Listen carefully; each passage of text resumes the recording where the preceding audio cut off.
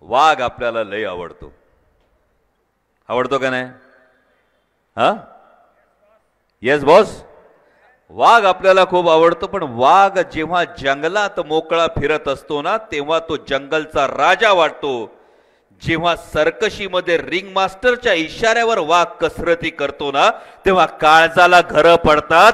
त्यारे ज्या वाघावर मी जीवापाड प्रेम केलं त्याला आज रिंग मास्टरच्या इशाऱ्यांवर चालावं लागतं.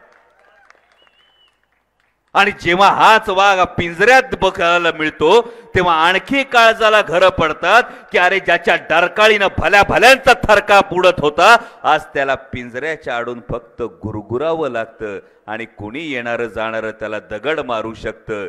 ही भावना जेव्हा वाघाची होते असंच महाराष्ट्राच्या हितासाठी वाघासारखी डरकाळी फोडणारे.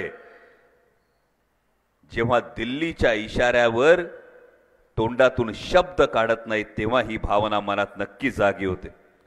कोल्हे साहेब आपल्यासारख्या अतिसामान्य माणसाला शिरूरमध्ये निवडणूक लढवायला लावत तिथे वाघ बनवणाऱ्या अजितदादांवर ज्यावेळेस काटेवाडीमध्ये जाऊन तुम्ही सरकशीच्या वाघाशी तुलना करण्याचा प्रयत्न करता तेव्हा खरंच आपल्या उत्तुंग व्यक्तिमत्व आणि उत्तुंग बुद्धिमत्तेवर मला हसावंसं वाटतंय.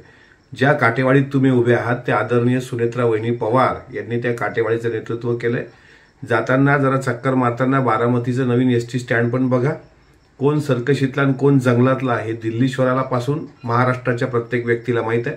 या देशात या महाराष्ट्रात विकासाचा वादा अजितदादा आहेत. चार वर्ष आपण शिरूर लोकसभा मतदारसंघात प्रकट झाला नाहीत.